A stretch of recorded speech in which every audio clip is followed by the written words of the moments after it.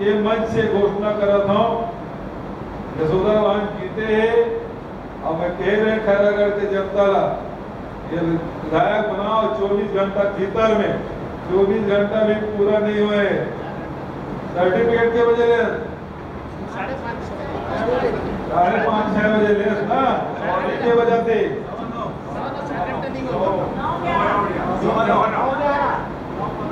हाँ तीन घंटे के भीतर में।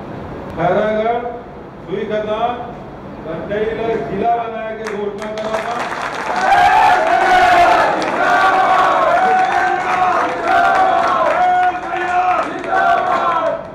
दूसरा साले पूर्ण तहसील बनाया के घोषणा करा था।